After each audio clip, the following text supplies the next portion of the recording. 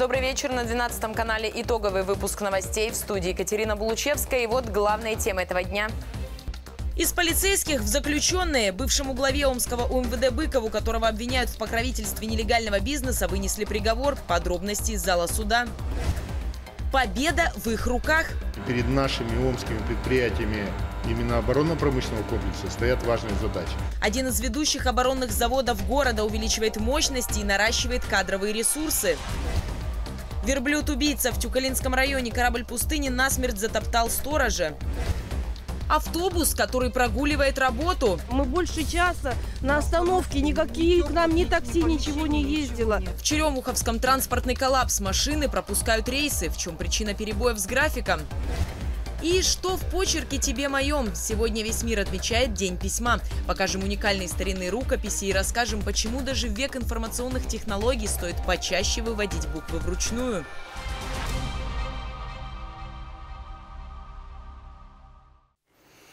Экс-руководителю Омской полиции удалось скостить срок, который для него требовала сторона обвинения, но тюремного заключения Евгений Быков не избежит, как и многомиллионного штрафа. Приговор ему сегодня вынес Кировский районный суд. Напомню, высокопоставленный сотрудник органов попался на крупной взятке. Он покровительствовал нелегальному бизнесу. Этот громкий процесс с самого начала приковал к себе внимание не только региональной, но и федеральной прессы. Каков вердикт суда и как его воспринял Евгений Быков в репортаже Ангелины Руновой. 10 лет колонии строгого режима и штраф 20 миллионов рублей. Сегодня в Кировском районном суде прозвучал долгожданный приговор для экс-главы Омской полиции Евгения Быкова, который попался на взятки в 6,5 миллионов рублей. Вердикт Фемиды суров. Быков отправится за решетку. Более того, должен будет выплатить круглую сумму за свои коррупционные схемы. А поскольку по решению суда он теперь лишен звания полковник полиции и, соответственно, пенсии по выслуге лет, ему придется постараться, чтобы закрыть этот долг. Я напомню, что в криминальной сводке Евгений Быков угодил больше полутора лет назад, когда попался с поличным на взятки. Тогда, по версии следствия, официальной зарплаты ему показалось мало, и он подался в так называемый теневой бизнес. Начал крышевать сразу несколько омских предпринимателей. Одним из них был владелец сети массажных салонов, где оказывались интимные услуги. Быков за свое покровительство получил э, с этого бизнесмена порядка 6,5 миллионов рублей. Быков гарантировал бизнесмену так называемую крышу, закрывал глаза на нарушение трудового законодательства законодательства и прочий творящийся в массажных салонах беспредел и в итоге неплохо озолотился. Аналогичным способом поправил свое материальное положение за счет еще одного предпринимателя. Тот торговал контрафактным алкоголем и табачной продукцией. С этого бизнесмена Быков поднял около 2 миллионов рублей. Однако теневой бизнес в итоге прикрыли сотрудники ФСБ. Быков и бывший начальник отдела исполнения законодательства полиции по городу Омску Лебедев в период с января 2020 2020 года по апрель 2021 года получали незаконные денежные вознаграждения с представителей коммерческих структур на общую сумму около 4 миллионов рублей за общее покровительство бизнеса. И уже в ходе расследования Евгений Быков неоднократно менял свои показания. Изначально отказывался свидетельствовать против себя. Позже заявил, что действительно брал деньги с предпринимателей, однако направить средства планировал не на личные нужды, а якобы на благополучие ОМВД, в частности благоустройство. Позже уже в зале суда и вовсе отказался давать показания. Категорически не признавал вину и заявлял, что не знаком с предпринимателями предпринимателями, с которыми якобы был замечен в коррупционных схемах. Доказательствами по уголовному делу являлись это показания свидетелей, взяткодателей, посредников, которые передавали э, непосредственно денежные средства Евгению Ивановичу. Преимущественную часть составляли результаты оперативно-розыскных мероприятий сотрудников ФСБ России по Омской области. Ну и, соответственно, заключение лингвистической экспертизы. Допросить Евгения Быкова удалось лишь с четвертой попытки, и тогда позорный силовик попытался обелить запятнанную репутацию. Изобличающие показания своего экс-подельника, подполковника Лебедева, через которого и получал солидные суммы назвал цирковым представлением, заявлял, что силовики фальсифицировали материалы дела, уголовное дело шито белыми нитками, а в итоге заявил, что влиятельные недруги, цитата, желают отправить его в тюрьму. Свое последнее слово, которое прозвучало на прошлой неделе, Быков также посвятил не раскаянию, а публичным обвинениям. Обвинил участников процесса в предвзятости и несправедливости. Жаловался на некомпетентность следствия. Обвинил прессу в однобокой подаче его истории якобы формировании выгодного его недругам общественного мнения, а свидетелей обвинил, если не в лжесвидетельствовании, то, по крайней мере, недостаточной откровенности перед служителями Фемиды. Кульминацией выступления Евгения Быкова тогда стали философские размышления и выражение опасений по поводу того, что отныне силовики вовсе перестанут выполнять свою работу, не будут бороться с коррупцией, опасаясь, что отныне их также могут сделать крайними, как якобы ФСБ сделали крайним Евгения Быкова. Обвинение предложило суду назначить бывшему начальнику ОМВД России по городу Омску наказание в виде 11 лет лишения свободы с отбыванием в колонии строгого режима со штрафом в размере 26 миллионов рублей, с лишением специального звания полковник полиции, с конфискацией суммы взятки. Я отмечу, что сегодня на приговор поддержать Евгения Быкова пришла его дочь. Судя по реакции девушки, она оказалась категорически не согласна с вердиктом, а согласен ли с решением суда Евгений Быков, неизвестно от комментариев, он воздержался. Был ли этот процесс последним или Евгений Быков попытается оспорить приговор, пока неизвестно. Ангелина Рунова, Сергей Пайхалов, 12 канал. Как стало известно, судебные тяжбы на этом не закончатся. Адвокат Евгения Быкова заявил, что сторона защиты с вердиктом не согласна. Экс-глава Омской полиции намерен его оспорить. Теперь у бывшего полицейского по закону есть 10 суток, чтобы подготовить необходимые документы, подать апелляцию и попытаться обжаловать приговор. Губернатор Александр Бурков побывал на одном из ведущих оборонных предприятий страны. В Центральном конструкторском бюро разрабатывают и выпускают сложное радиоэлектронное оборудование. На каждом боевом самолете ВКС России установлено не менее двух изделий омского производства, не считая головок самонаведения ракет. Глава региона лично убедился, что цеха завода оснащены с учетом самых современных требований. Постоянное перевооружение технической базы требует и особого внимания к подготовке кадров в ЦКБА. Не только организуют практику для студентов и выпускников колледжей и вузов, но и сами готовят специалистов рабочих профессий. Для этого создали учебный центр и за неполный год обучили 66 человек специальности монтажник радиоэлектронной аппаратуры и приборов. Региональное правительство активно включилось в процесс подготовки кадров для оборонки. В качестве поддержки работодателям компенсируют затраты на оплату стажировки выпускника вуза или колледжа, его наставника на протяжении трех месяцев. Мы сегодня выполняем важную государственную задачу. В условиях вот этого противостояния да, на международной арене сегодня перед нашими омскими предприятиями именно оборонно-промышленного комплекса стоят важные задачи. Это и модернизация производства, это обновление производственных Э, мощностей, оборудования. Потребность сегодня в кадровом обеспечении, она резко выросла в 2022 году. Мы только за прошлый год трудоустроили на наши оборонные предприятия более 4 тысяч человек. И сейчас заявка идет еще на тысячи людей, которые требуются именно на наших предприятиях.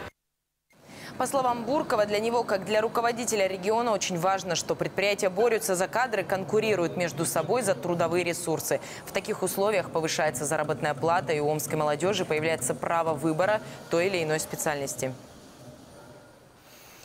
Какие изменения ждут регион в 2023-м? Об этом уже в ближайшую среду расскажет губернатор Александр Бурков. 25 января глава региона проведет большую пресс-конференцию, ответит на вопросы журналистов и подведет итоги социально-экономического развития Омской области за минувший год. Также он расскажет о ключевых проектах и планах правительства на 2023. 12 канал, как всегда, покажет встречу губернатора и представителей СМИ в прямом эфире. Начало трансляции 25 января в 10 часов. В Омске на два маршрута вышли новые автобусы «Нефас», работающие на природном газе. Об этом в своем телеграм-канале рассказал мэр Сергей Шелест. Он отметил, что транспортный парк обновился благодаря нацпроекту «Экология», который реализуется при участии правительства региона. 11 пассажирских машин большой вместимости поступили в Омск в прошлом году, и это лишь треть автобусов, которые были закуплены. Кроме экологичности, они отличаются и комфортом, просторные салоны, откидные аппарели для удобства маломобильных пассажиров и кондиционеры. Оценить все это омичи могут уже сегодня на маршрутах 24 и 29. Новую технику распределили по этим направлениям. И к другим темам. Амич пал жертвой смертельной атаки верблюда. Ожесточенное противостояние развернулось на базе отдыха «Березка» в Тюкалинском районе на выходных. Акт агрессии попал на камеру видеонаблюдения. В кадре видно, 51-летний сторож по неизвестной причине набросился на животное с кулаками. Двугорбый стал защищаться, искусал, опрокинул и затоптал Амича. Потерпевшего доставили в ЦРБ, где врачи диагностировали у жертвы политравму и тяжелую открытую черепно-мозговую. Несмотря на все усилия медиков, Сторож скончался в реанимации. К делу уже подключилась полиция. Законно ли на базе держат верблюда, выясняет прокуратура. В ходе надзорных мероприятий будет дана оценка законности действий должностных лиц организации по соблюдению безопасности на территории охотничьей базы, а также исполнению требований по содержанию животных. По результатам проверки будет решен вопрос о принятии мер прокурорского реагирования.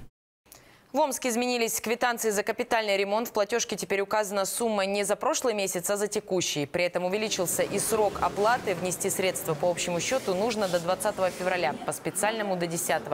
Ранее, напомню, на транзакцию отводилось всего 10 дней. Поменялось и содержание квитанции. Специалисты добавили в документ информацию о дате и сумме последней оплаты, а также о типе счета дома. Он может быть общий или специальный. Внести деньги можно по QR-коду. Такие нововведения, уверены в фонде капитального ремонта, ремонта помогут избежать путаницы в оплате. Новые квитанции уже начали доставлять и мечам. А мечи могут получить социальную выплату на покупку или строительство жилья в первом квартале 2023-го. Эта сумма превышает 2,5 миллиона рублей. Получить ее могут люди с инвалидностью и семьи, которые воспитывают ребенка с ограниченными возможностями здоровья. Главное условие – они должны быть поставлены на учет в качестве нуждающихся в улучшении жилищных условий до 1 января 2005 года. Средства можно направить на приобретение готовой квартиры, возведение собственного дома или же покупку жилья через долевое строительство. Чтобы чтобы получить выплату, необходимо написать заявление, обратиться в отдел службы одного окна. Он находится в управлении по обеспечению деятельности администрации Омска по адресу Гагарина, 31, корпус 1. Телефон для предварительной записи на ваших экранах. Юбилейный турнир по карате «Кубок Прииртышья» собрал в Омске рекордное количество регионов. Спортсмены разных возрастов состязались не только за награды соревнований, но и за возможность попасть в сборную страны. А мячи в итоге взяли 9 золотых медалей и заняли второе общекомандное место, уступив лишь новосибирцам. За жаркими баталиями, развернувшимися на татами, наблюдал Алексей Дариев. Масштабные соревнования, которые проводятся при поддержке губернатора Александра Буркова, собрали более 1300 бойцов из 29 регионов России. Этот представительный турнир проходит в Омске уже в пятый раз. И по мнению иногородних гостей, у амичей нужно учиться прекрасной организации всероссийских состязаний. Омск доказал право на проведение хорошего уровня любых практически турниров. Я хочу, чтобы амичи так держали эту марку и каждый раз чуть прибавляли, прибавляли, хотя кажется, что уже прибавлять вроде некогда. Шикарно организовано, огромное количество участников. Состязания проходят в разделах ката и кумите. Среди тех, кто представляет Омск, победители и призеры всероссийских соревнований Артем Кузьменко, Игорь Клещеров, Семен Грачев, Евгений Коршунов, Милена Степнева, Иван Курамшин. А мечи – одни из фаворитов турнира. Карате в регионе в последние годы на подъеме. Это очень хорошо, что огромное количество клубов по карате существует в нашем регионе. Ну, а самое лучшее, это, конечно, когда есть соревнования в своем родном регионе. Не надо никуда ехать, не надо там тратить какие-то средства на то, чтобы это... Здесь поддержка трибун, здесь поддержка родителей. То есть это те факторы, которые как бы влияют на спортивные результаты. Какие же качества наиболее важны для победы в поединке каратистов? Физическая сила, отточенная техника или твердый характер? Характер. Характер всегда побеждает. А, бывает зачастую, что выходит очень э, техничный спортсмен, а, очень тактически оснащенный, но соперник, который, возможно, уступает ему в этих аспектах, э, за счет силы воли своей зачастую побеждает. Больше шансов у того, кто умеет сохранять хладнокровность, э, у тех, кто э, проводит грамотные, хорошие тренировки, правильно готовится к турнирам. И только все вместе вот эти этапы, если собрать, тогда можно добиться успеха. Любовь парней к виду спорта, где можно проявить физическую силу, бойцовский дух и мужественность, вполне понятно. Но карате во всем мире и на омской земле в том числе в последнее время привлекает к себе все больше и больше очаровательных дам. Это зрелищно, это эстетично, это красиво. Нет никакой зарубы, нет никаких добиваний лежачих и так далее. Есть только красота, есть какая-то строгость, и воспитание это дает огромное. Карате входит в программу Олимпийских игр, и можно надеяться, что юные звездочки, впервые вспыхнувшие на Омском турнире, уже в скором будущем прославят нашу страну на международной арене. Во всяком случае, представители тренерского штаба национальной сборной, внимательно наблюдавшие за поединками, взяли на карандаш самых талантливых бойцов. Алексей Дариев, Дмитрий Албегепченко, 12 канал. Ну а вот о чем расскажем во второй части выпуска. Автобус, который прогуливает работу. Мы больше часа на остановке, никакие к нам ни такси, ничего не ездило. В Черемуховском транспортный коллапс. Машины пропускают рейсы. В чем причина перебоев с графиком? И вперед в будущее! Юные айтишники запрограммировали киборгов, и они показали все, на что способны. Самые выдающиеся моменты Робофеста. И что в почерке тебе моем? Сегодня весь мир отмечает День письма. Покажем уникальные старинные рукописи и расскажем, почему даже в век информационных технологий стоит почаще выводить буквы вручную.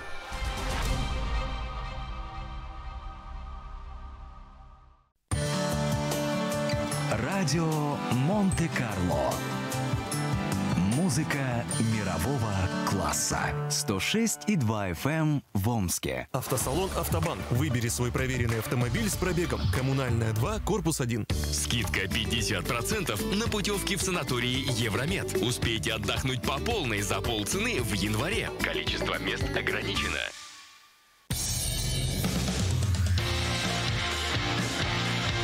Если радио, то максимум 105 FM эм в Омске.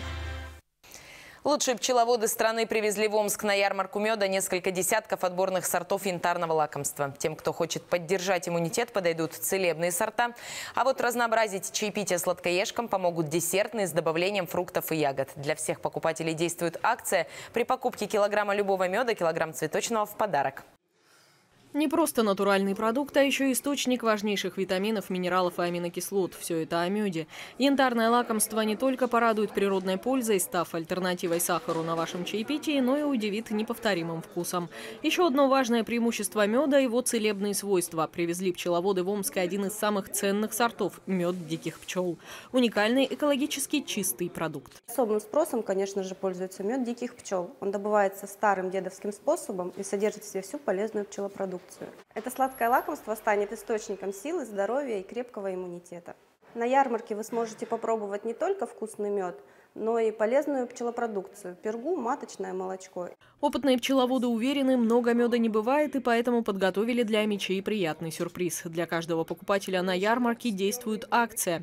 При покупке килограмма любого меда – килограмм цветочного в подарок. Попробовать и выбрать полезное лакомство на любой вкус можно сразу на двух площадках. Выставка продажа меда проводится с 23 по 30 января в торговом доме «Корона», остановка ДК имени Баранова, а также в ДК имени Малунцева.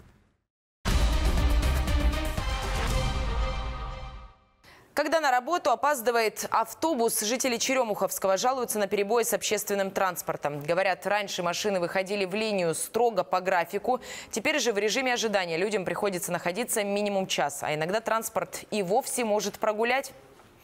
По мнению жителей, причина регулярных опозданий, конечно, не в самих автобусах, а в недобросовестном перевозчике, который с 1 января взял на себя ответственность за маршрут Черемуховская-Омск. В ситуации разбиралась Анастасия Донец. По 30 градусов мороза мы больше часа на остановке, никакие к нам ни такси, ничего не ездило. Это просто было обморожение у людей. По словам местных жителей, в транспортном локдауне поселок оказался сразу после Нового года. Раньше автобус Черемуховская подавал облавтотранс, и перебоев в графике не было. Но с 1 января перевозками стал заниматься частник, выигравший тендер на маршрут. Большие проблемы утром на первом автобусе не уехать. Бывает так, что не придет и добираться я не могу только на это. Часто опаздываешь на работу. Рейсовый автобус номер 132 – единственный транспорт, соединяющий поселок Черемуховское и Омск. Если он не пришел, люди вынуждены идти несколько километров до трассы, а оттуда добираться до города на попутках. Больше нам не на чем поехать. Вот только дойти до трассы, и то проходящие автобусы нас не берут – потому что у них здесь остановки нет. Вот дойдешь туда весь как колотушка замороженный, а автобусы идут мимо. Сегодня оба утренних рейса и на 6.30, и на 7 часов пришли вовремя. Но местные жители уверены, такая пунктуальность скорее исключение, и связана она с приездом нашей съемочной группы. Сами водители с этим не согласны. Говорят, приходят каждый день без опозданий. Я не знаю, что люди недовольны. Все нормально, автобус ходит. Есть график. Конечно, ну бывает, может там вечером пробки, допустим, да, ну от этого никто не застрахован. В областном Минтрансе нам рассказали, что на самом деле были зафиксированы нарушения со стороны индивидуального предпринимателя, который обслуживает 132 маршрут, в том числе и отклонения от схемы движения и графика транспорта. С водителем транспортного средства, осуществлявшего заправку автобуса во время выполнения рейса по маршруту номер 132, проведена разъяснительная работа о недопустимости нарушений пути следования по маршруту. Перевозчик предупрежден об ответственности за несоблюдение требований, установленных государственным контрактом. Сейчас вопрос соблюдения перевозчиком установленного расписания и схемы движения находится на постоянном контроле Министерства транспорта и дорожного хозяйства Омской области. Анастасия Донец, Сергей Никифоров, 12 канал. На постоянного покупателя магазина электроники завели сразу шесть уголовных дел. Мич целый месяц брал товары, но на кассе за них не расплачивался. заявлением в полицию обратился представитель торговой точки. Он сообщил о пропаже семи пар беспроводных наушников на общую сумму в 50 тысяч рублей. Грабителя установили по записям с камер видеонаблюдения. В общей сложности он орудовал в течение месяца. Каждый раз, идя на дело, специально по-разному одевался и незаметно крал товар с полки магазина. Затем продавал похищенное на рынке. На на данный момент обвиняемый находится под стражей. На него заведено 6 уголовных дел за кражу. Мужчине грозит до двух лет лишения свободы. Не просто игра в роботов, а становление будущих инженеров. Фестиваль Робофест собрал в Омске более 600 будущих айтишников из России и зарубежья. Ради победы участники бросали вызов самым сложным задачам, с которыми справиться под силу не каждому взрослому специалисту. В мире роботов, который, как выяснилось, не такой уж далекий, на выходных побывала и моя коллега Анастасия Вишова. Преодолеть трассу, собрать светофор, заправиться. Главное не сбить препятствия и не выйти за черту. Соревнования похожи на дистанцию в автошколе, вот только за рулем вовсе не человек. Экзамен сдает робот, управлять им нельзя. После нажатия кнопки машина должна самостоятельно принять решение, где повернуть и в каком порядке собрать цветные бочки. Программируют их ребята на месте. Робокарусель, так называется дисциплина, одно из самых сложных направлений фестиваля. Не просто так. Команда-победитель будет защищать честь региона на конкурсе в Москве. Могут возникать возникать люфты. Люфты – это когда мотор может повернуться чуть больше, чем надо. Из-за этого у тебя может захват подвинуться чуть дальше, и цилиндр может не взять просто. Или в боксе он может просто дернуться и сбить столбик.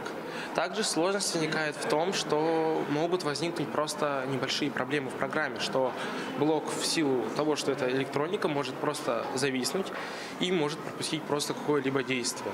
На первом этаже Конгресс-холла развернулся настоящий летательный полигон. В Омске впервые прошли соревнования среди операторов-беспилотников. Организаторы уверены, такая сфера станет профессией будущего. Уже сейчас аппараты помогают тушить пожары, обрабатывать поля, доставлять грузы. Инженеры уже даже представили модель беспилотного летающего такси. Рассчитано оно на одного пассажира, а в воздухе находится около получаса. Управление дронами может даже войти в школьную программу по физкультуре. Такое поручение дал вице-премьер страны Дмитрий Чернышенко. У обручи надо пролететь змейку и взлететь, сесть. Что самое сложное здесь? Пролететь змейку. Потому что она находится близко к сетке, и дрон постоянно цепляется за нее. В этом году на фестивале ребята соревновались в 14 направлениях. На площадке Hello Robot выступили те, кто только начинают знакомиться с машинами. Другие с помощью 3D-ручки построили замки и карусели. В этом году впервые у нас проводится мобильный конкурс мобильных приложений. Ребята делали два вида приложений. Это э, игровые и деловые приложения. Чуть позже э, придут ребята с видео и э, мультфильмами. Мультфильмы ребята готовили заранее, а видеоролики у них была возможность снимать сейчас, вот буквально в режиме реального времени. В Робофесте приняли участие больше 300 команд из Омской, Новосибирской, Челябинской областей, Республики Хакасия и Казахстана. Площадки разработаны для ребят от 5 до 18 лет. Состязания помогают прокачивать оттачивать навыки юных инженеров в механике, программировании и теории управления. Фестиваль стал ежегодным. В Омской области он прошел уже в восьмой раз. За 8 лет активной работы многие ребята уже из детей превратились в осознанных студентов, которые свою специальность связали именно с этим направлением. Сейчас IT-сфера ключевая в развитии экономики страны. Новые технологии применяются не только на предприятиях, но и в медицине, развлекательной индустрии. Кто знает, может быть, именно эти ребята в будущем построят летающий город или научат искусственный интеллект справляться с неизлечимыми заболеваниями. Анастасия Вишова, Дмитрий Алдыгепченко, 12 канал. Инспекторы ДПС организовали облаву на пьяных водителей. Проверки проходили на выходных в рамках операции «Трезвость». Усиленные патрули дежурили в разных частях города и останавливали буквально каждую вторую машину. Смотрели документы и проводили профилактические беседы. В итоге почти два десятка человек отстранили от управления автомобилями. У них были выявлены признаки опьянения. И еще в 12 случаях у водителей не оказалось при себе прав. В общей сложности в ходе рейда «Трезвость» было выявлено более 200 нарушений правил дорожного движения.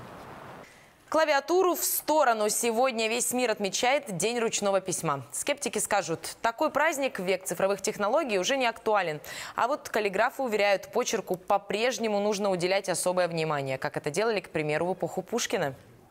В Омской библиотеке, которая носит имя знаменитого писателя, сохранились уникальные рукописные тексты классика. Мы предложили изучить их эксперту в области почерка. Наталья Змага расскажет о результатах исследования. Не следственный, а скорее творческий эксперимент. Криминалист Роман Богданов изучает рукописные творения Александра Сергеевича Пушкина. Все они были сделаны в разные периоды и в различных обстоятельствах. Например, этот текст Бахчисарайского фонтана поэт выводил каллиграфическим почерком для издателей, а этот – черновик того же произведения. Третий образец – так называемый донжуанский список. Имена покоренных писателем барышень классик набросал карандашом для альбома Елизаветы Ушаковой. Видимо, такой откровенностью он хотел завоевать сердце очаровательной блондинки. На первый взгляд почерк везде разный, но опытный специалист сразу выявляет общие черты. Допустим, написание интересной буквы «Д». А, элемент, который э, выполняется по нормам прописи, э, под строкой Пушкин пишет над строкой. Конечно, в разных различных вариантах э, более ну, такой размашистый это вот в этом варианте, в каллиграфическом. Я не могу сказать, какой характер был у Пушкина. Но я могу сказать, что он летописал. Порой это бывает важнее. Почерковедение – раздел криминалистики, который обыватели часто путают с графологией, весьма спорной психологической дисциплиной. Суть ее в существовании связи между характером и почерком человека. Учение пришло в Россию из Европы, но так и не прижилось в нашей стране. Не признавали графологию и в Советском Союзе. Все дело в том, что некий академик Владимир Бехтерев как-то обмолвился в кулуарах э, о результатах экспертизы записки Сталина, а где значилось, что это почерк агрессивной личности с манией преследования. После этого академик погиб при невыясненных обстоятельствах, а графологию признали лженаукой. Рукописные книги нынче редкость. Бахчисарайский фонтан 1827 года хранится в особом отделе библиотеки Пушкина. На каждой страничке специальная печать тиснения, что говорит о подлинности. Произведения переписывали от руки из-за небольшого тиража поэмы в тысячу экземпляров. Это копия творения деда знаменитого омского ученого Петра Драверта. Она сохранилась у нас в библиотеке Петра Людовиковича Драверта. А, и этот экземпляр принадлежал его деду Станиславу, который возглавлял канцелярию а, в Вятке, канцелярию именно гражданского губернатора.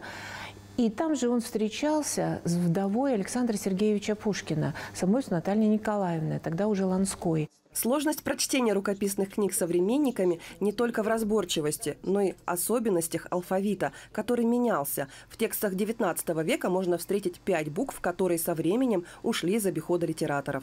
Начиналось все с 42 а, букв, потом 39 букв, и потом мы а, вернулись уже, вернее, обрели азбуку в 33 буквы. Кстати, у нас в библиотеке Пушкина мы проводим рукописную мастерскую, где а, особым образом изучаем процесс потери наших букв и что за этим стоит. В век информационных технологий люди все чаще пользуются клавиатурой. День почерка призван напомнить человеку, что писать от руки полезно для здоровья. Это развивает мелкую моторику, способствует длительному запоминанию информации и позволяет четче формулировать мысли. Ведь для рукописного текста люди тратят больше времени и сил, чем при кликании на компьютере или смартфоне. Наталья Змага, Юрий Репин, 12 канал. Далее прогноз погоды. Ну а все наши новости доступны в социальных сетях ВКонтакте, Телеграме, Одноклассниках и на Ютубе. Найти их можно и на сайте 12канал.ру. Также вы можете предложить свои новости, прислать их нам по электронной почте или же позвонить в редакцию по телефону 695-641. Оставайтесь с нами. Спонсор прогноза погоды в части новостей ООО «Брокерская компания Бюро кредитных решений». Ваш надежный помощник в вопросах кредитования. Итак, завтра, 24 января, в Омске переменная облачность. Температура воздуха ночью минус 8, минус 10. Днем 6-8 градусов холода. В районах также переменная облачность. Ночью минус 11, минус 12, а дневная температура 7-9 градусов ниже нуля. Ветер юго-западный 4 метра в секунду. Атмосферное давление составит 760 миллиметров ртутного столба. Бюро кредитных решений предлагает вам помощь в получении всех видов потребительских кредитов. Ипотека, кредиты под залог. Работаем без предоплаты. Оформление услуг дистанционно. Телефон 59 05 39. Таковы новости этого дня. Благодарю вас за внимание и желаю хорошего вечера.